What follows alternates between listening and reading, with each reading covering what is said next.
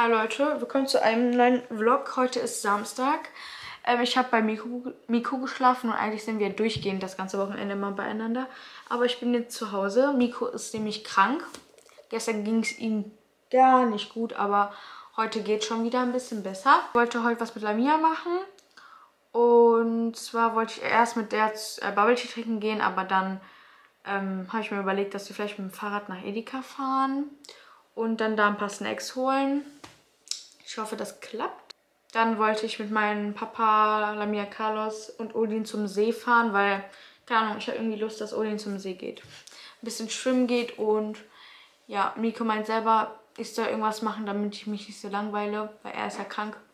Deswegen mache ich jetzt einfach ein bisschen was und heute Abend gehe ich dann wieder zu Miko. Ich fühle mich auf jeden Fall auch, wie ich aussehe. Ich war zwar schon duschen, außer meine Haare. Ähm, aber ich mache mich gleich auf jeden Fall noch ein bisschen fertig. Meine Augenbrauen müssen komplett wieder mal gemacht werden, weil überall Haare. Ähm, ich bin jetzt in meinem Zimmer und ich werde mich jetzt ein bisschen schminken. Äh, Lamia hat jetzt auf einmal doch keine Lust mehr mit mir was zu machen. Hier sind, ich habe auch richtige, ihr wisst doch noch, wo ich hier Pickel hatte. Das sind jetzt Pickelmale geworden. Auf jeden Fall mache ich mich jetzt einfach fertig, damit ich mich ein bisschen schöner fühle und mich auch zeigen kann, weil ich schäme mich gerade schon so irgendwie gerade zu sein vor der Kamera. Ich jetzt noch eineinhalb Stunden warten, bis mein Vater kommt. Aber ich will nicht so lange warten, bis ich irgendwas machen kann. So, ich mache mich ja jetzt gerade erstmal fertig, aber keine Ahnung, mein Vater kommt erst so um halb sechs. Also um halb sechs ist er fertig mit Duschen und alles. Fun Fact über mich, ich hasse es wirklich nicht, nicht, also nichts zu machen. Ich hasse es einfach, nichts zu machen. Ich mag es nicht, einfach nur zu Hause zu gammeln. Ich kann das gar nicht. Ich muss am liebsten, wenn es dann mir gehen würde, jeden Tag irgendwas machen. Ich habe jetzt hier schon meinen Under Brightener, Under Eye Brightener benutzt. Ich mache jetzt einfach noch ein bisschen Concealer. Und ich habe gerade auch ein paar Insta-Stories aufgenommen, weil ich noch nichts in der Story hatte. Leute, ich hoffe, dass ich irgendwas mache. Das Wetter ist so, so schön. Ich kann es euch zeigen. Einfach so gutes Wetter. Ähm, ich mache gerade Bronzer. Und ich kann euch den von Milk auf jeden, jeden Fall empfehlen. Ähm, bis jetzt habe ich eigentlich noch nicht so großen anderen getestet. Außer den hier von Douglas von Eigenmarke. Das ist aber halt so Puder. Ähm, ja, den habe ich schon lange nicht mehr benutzt. Ich benutze immer nur den von Milk. Aber falls ihr noch einen guten kennt, dann schreibt mir das auf jeden Fall. Ich würde auch gerne wieder so neue Sachen ausprobieren. Deswegen, falls ihr irgendwelche guten, guten Produkte habt, dann schreibt mir das mal gerne. Ich habe ja hier auch mein Charlotte Tilbury Ding. Und ich finde das auch mega gut, aber davon gibt es ja auch ganz viele neue. Ich bin auch am überlegen, ob die vielleicht auch gut sind. Oder ich würde auch gerne mal Produkte von NARS ausprobieren, besonders den Concealer. Ich benutze ja jetzt immer den von Catrice, aber ich würde den halt voll gerne einfach mal ausprobieren und zu gucken, wie der ist, weil ich höre davon eigentlich nur Gutes oder von Too Faced oder Tarte. Von denen, also diese Marken sollen ja mega gut sein für Concealer. Und ja, das wollte ich halt schon länger ausprobieren, aber ich traue mich erstens nie im Laden zu fragen, welche, welche Farbe zu mir passt, weil ich dazu auch zu blöd bin, um das selber herauszufinden. Weil ich mache das immer falsch und ich brauche dafür einfach Hilfe. Und ich glaube, bei NARS muss man halt ähm, Sachen bestellen.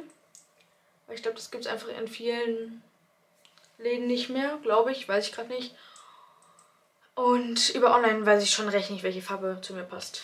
So, ich bin fertig geschminkt, ihr seht's. Auf jeden Fall mache ich jetzt meine Haare.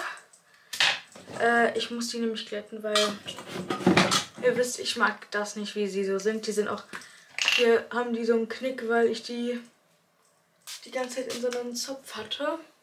Wir jetzt gerade 16 Uhr, das heißt, in einer Stunde ist mein Vater zu Hause. Ich mache jetzt meine Haare, wie gesagt, und mache da ein bisschen TikToks.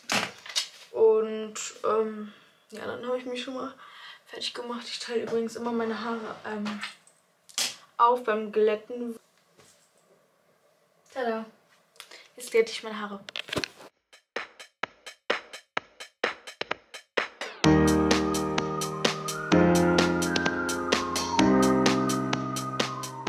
Leute, ich habe jetzt Lamia dazu verdonnert, von mir Bilder zu machen. Ich habe ganz Zeit schon TikToks gemacht. Und weil ich mich so gut fühle und die Sonne scheint, dachte ich mir, wir machen jetzt auch noch Fotos. Komm mal nah, nur dass man so hier, mein, hier sieht, meine Lippen. Nur so nah, weißt du? Ja, nicht so nah. dass es so ist. So, checkst du, dass es so aussieht? So nah. Einfach hier der Bereich nur. Mit Lamia Fotos zu machen ist ein Kampf. Sie hat nie Bock. Wir versuchen es jetzt auf diesen schwarzen Stühlen. Fotos sind gemacht. Und wie sieht aus? Gut. Danke. Ja, ich habe auch auf Karl angekommen. So. Wir sind wieder unterwegs mit Odin. Wir gehen nämlich. Mein Gott, da sind kleine Kinder. Kleine Kinder. Und ein Hund. Odin, Odin. So Leute, wir sind jetzt spazieren mit Lamia und Odin. Es gab nämlich eine kleine Planänderung. Und zwar gehen wir nicht zum See. Schade, hätte ich gern gemacht für Odin. Aber wir gehen einfach nächste Woche, weil irgendwie hatte keiner Bock. Also Carlos hatte keinen Bock, meine Mutter hatte nicht viel Bock. Deswegen haben Lamia und ich jetzt einfach dazu, uns dazu entschieden, mit Odin wenigstens spazieren zu gehen, damit wir uns nicht so schlecht fühlen für ihn. Und ähm, das Licht ist hier wieder so doof. Und dass wir dann gleich nach Edeka fahren mit dem Fahrrad. Ja, das wollte ich gerade sagen, Mann. Ich wollte das gerade sagen. Ja, ist schon eine kleine Strecke. Aber mir schafft das schon, hoffentlich. Hoffentlich schaffe ich das, weil ich hasse Fahrradfahren. Aber ähm, ja, wir wollen ein paar Snacks kaufen. Lamia darf die Snacks aussuchen. Und ich wollte auch ein bisschen Gummibärchen. Odin, weg, Bisschen, Odin. der, der isst Odin. irgendwas. Nein. Äh, ich wollte ein bisschen Gummibärchen haben, weil ich liebe Gummibärchen. Ähm, ich verstehe die Leute ja gar nicht, die Chips essen. Das ist ja so Miko. Er isst nur Chips. Ich kann es nicht nachvollziehen. Ich bin Gummibärchen-Team. Ähm, ja, und dann wollte ich für Miko noch mh, sein Lieblings-Arizona-Getränk holen. Oh, wir sind ja schon an Oma vorbeigelaufen. Ja, lass noch. Äh, Ja, dann lass lieber zurück. Ja. Ähm, für Miko sein Lieblingsgetränk kaufen, weil er krank ist. Und deswegen dachte ich mir, bin ich mal süß und hol ihm sein Lieblingsgetränk. Und vielleicht irgendwie noch Nicknacks oder so, das mag der auch gerne. Ja, jetzt sind wir hier spazieren. Ich habe mir was drüber geworfen. Ich habe meine Bilder gemacht. Bilder sind noch online auf Insta. Ähm, Lamia hat es doch noch hinbekommen, Bilder von mir zu machen. Zum Glück. Und ja, wir gehen jetzt wieder zurück und dann geht's mit dem Fahrrad los. Ich versuche, versuche euch auch mitzunehmen. Ich nehme euch aber mit dem Handy mit. Deswegen. Hier ist die Maus. Oh. Leute, was ich euch sagen wollte. Ähm, ich kann jetzt auch richtig gut meine Videos alleine schneiden. Ich hatte ja immer Probleme. Ich konnte nie meine Videos, also meine Dateien rüberziehen von der Speicherkarte über, äh, über den Laptop. Habe ich jahrelang nicht kapiert. Das kann ich auch erst seit Ui, nein. zwei Monaten ungefähr. Nein, Odin. Odin, Odin. Der hört gerade nicht so auf Lamia. Und ähm, ja, das kann ich jetzt seit neuestem. Und seit neuestem kann ich auch ganz alleine meine Dateien vom Handy aufs Laptop machen. Lamia, schrei nicht so rum, ich film doch. Aber er. Er dran. ähm, meine Dateien vom Handy aufs La äh, ähm, Laptop airdroppen, airdroppen und dann auch überziehen. Ah, Das kann ich jetzt alles alleine. Und mein Video hoch, ähm, hoch, hochladen kann ich auch alleine alles einstellen. Deswegen, Leute, ich kann so viele Videos posten, wie ich will. Ich kann jetzt einfach alles alleine. Ich brauche nicht mehr auf meine Mutter warten, dass sie mir hilft. Ich mache alles alleine und ich bin richtig stolz darauf. Wir sind da. Wir sind da, wir sind da, wir sind da. In der Süßigkeitenabteilung. Leute, die Sachen, die ich wollte, die gibt es hier einfach noch nicht. Da die mit Eistee-Geschmack. Ach nö. Magst du die? Filmst du? Ja. Also, wir haben einmal Arizona für Miko, sie für mich. Ja. Und meine Lieblingsgummibärchen, die sind super lecker. Und jetzt zeigt Lamia euch die Sachen, die sie gekauft hat. Also ich habe einmal ähm, so einen Eistee geholt, der schmeckt richtig gut. Wir haben schon die Hälfte weggetrunken. Und einmal so, nimm zwei. Für Klassenfahrt, ne? Bonbons. Ja, genau, für die Klassenfahrt. Zeig mal noch, was für Klassenfahrt ist. Ähm, die Klassenfahrt ist noch das hier. Also, das ist auch für Klassenfahrt, ne? Ja, das ist auch eine Klassenfahrt. Das sind so Pfirsiche. Und jetzt hast du für dich zu Hause geholt hast. Genau. Einmal diese Märchenprinzen-Dinger, auch nimm zwei. Mag ich gar nicht. Die sind richtig lecker. Nee. Und ähm, noch für zu Hause ist Die sind lecker. Ja, die sind wirklich lecker. Und für Carlos?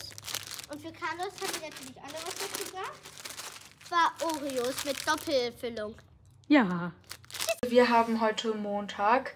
Ähm, ich war schon in der Schule, dann war ich schon im Gym, habe heute Po trainiert, aber irgendwie war es heute so schwer für mich. Keine Ahnung, ich hatte die ganze Zeit Herzrasen.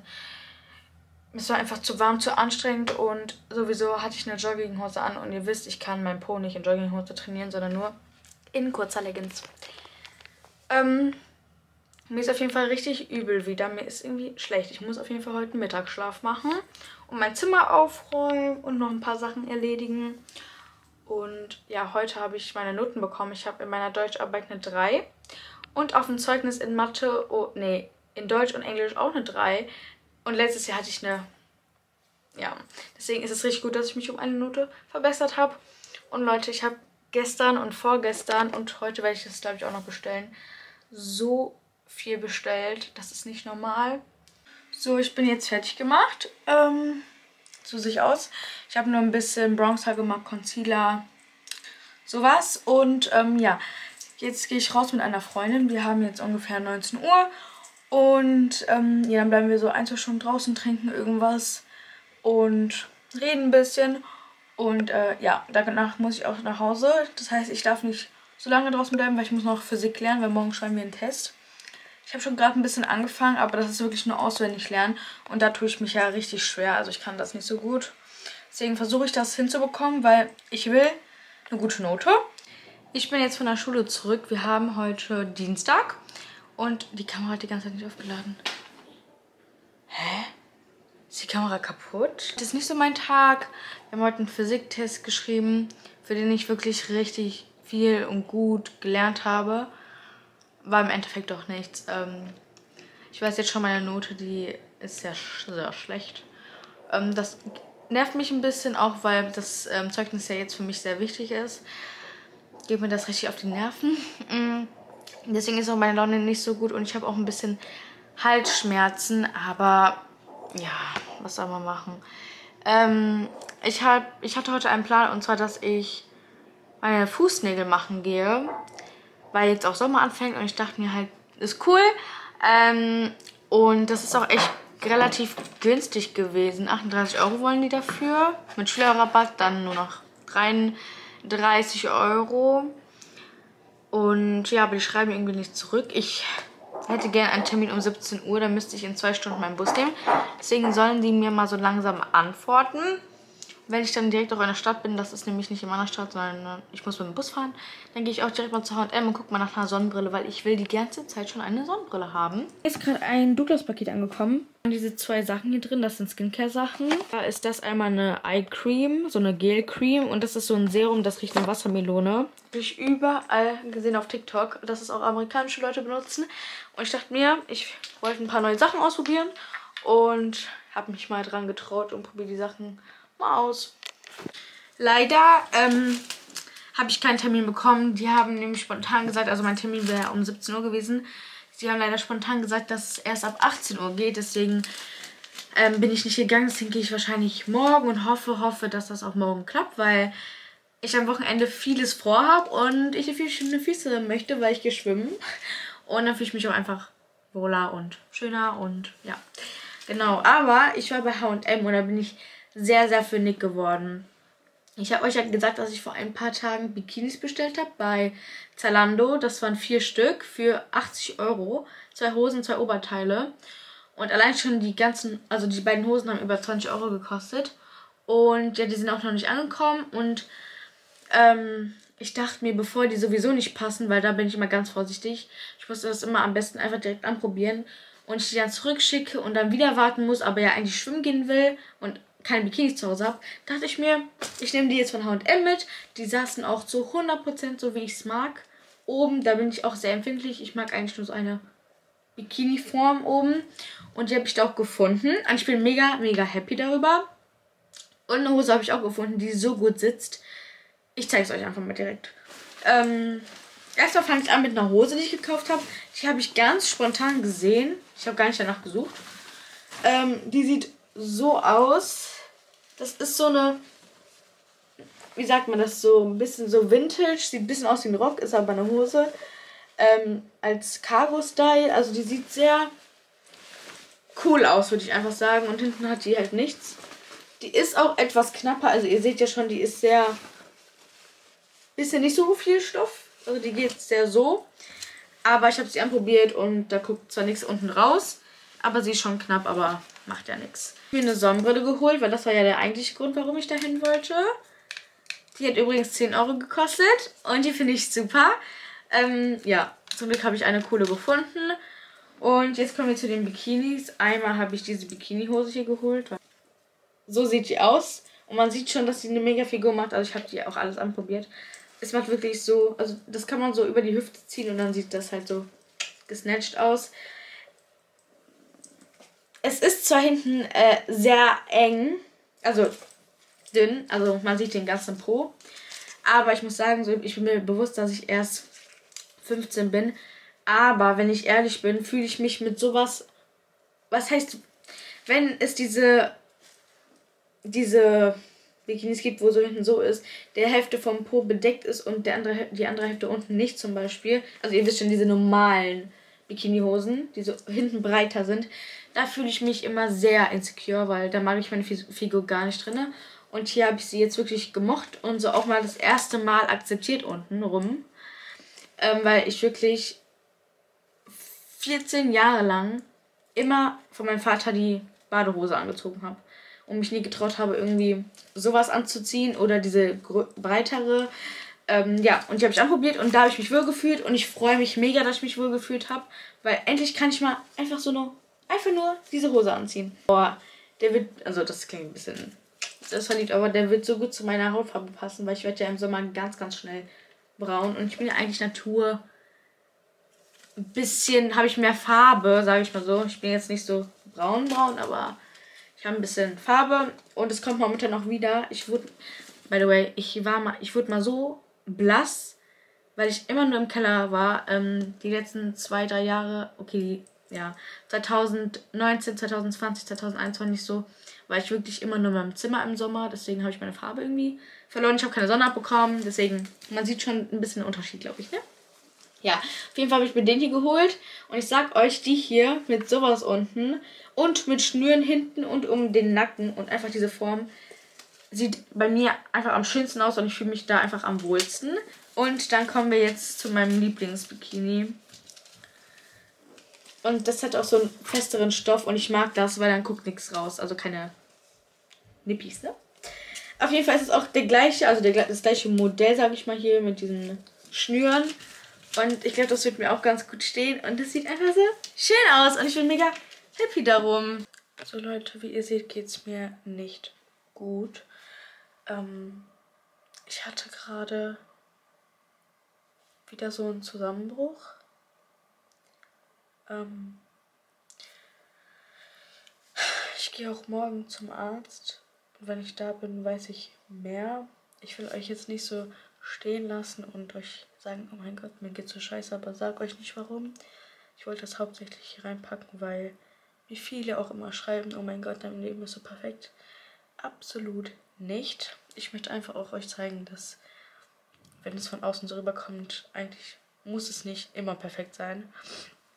Ähm, wenn ich morgen beim Arzt war und ein bisschen mehr weiß, dann werde ich euch das ganz bald erzählen.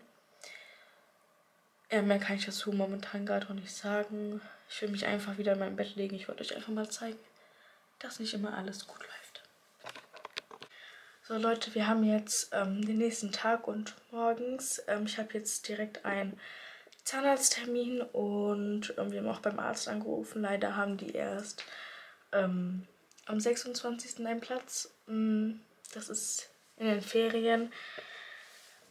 Bisschen doof, aber ähm, ja, bis dahin, bis dahin warte ich dann einfach. Und ja, aber das Einzige, was ich jetzt gerade noch sagen wollte, ist, dass ich mich jetzt auch verabschiede von euch und ich hoffe, euch hat der Vlog gefallen und dass wir uns beim nächsten Mal wiedersehen. Tschüss!